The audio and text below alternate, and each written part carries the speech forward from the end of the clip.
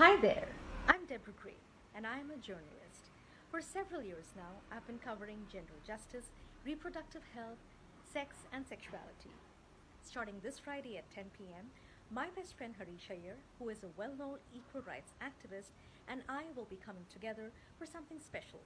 We're calling it Banter with Bestie, where we will take your questions about sex, gender, and sexuality.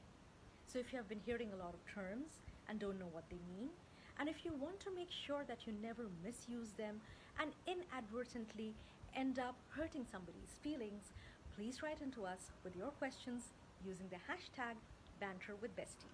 Please note, neither Harish nor I are mental health professionals or doctors.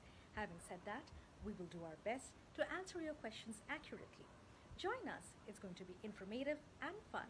See you at 10 p.m. on Friday.